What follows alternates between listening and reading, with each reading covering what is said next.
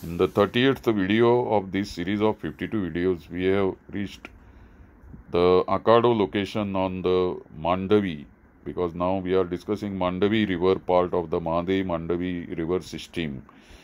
Then there is a small uh, interesting location known as Tolto and uh, it is a it is a it is a backwater of Mandovi which creates this Tolto close to Cumbarjua so people call this crossing as Ramachitar. I don't know the reason why it is called as Ramachitar, but very close to it.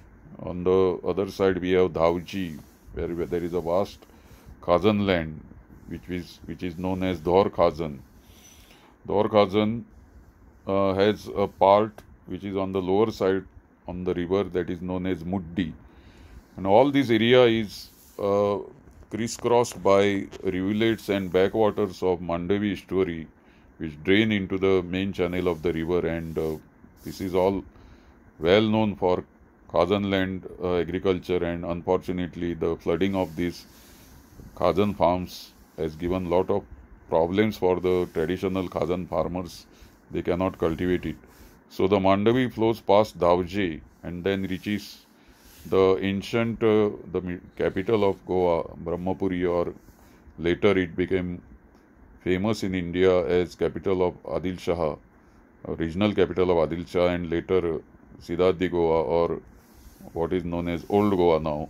So Mandovi reaches Old Goa at this point, and then uh, we don't have to uh, know much about this because Everybody has seen now the channel of Mandovi near Old Goa and the ferry crossing to Diwari, Diwar, Diwar Island as well. It is one of the beautiful ferry crossing where uh, as you cross to Diwadi or you come from Diwadi and reach Old Goa, you can see the uh, monuments, the churches and uh, other monuments of uh, Old Goa. So it is a very historic place on the channel of this one Mandovi River.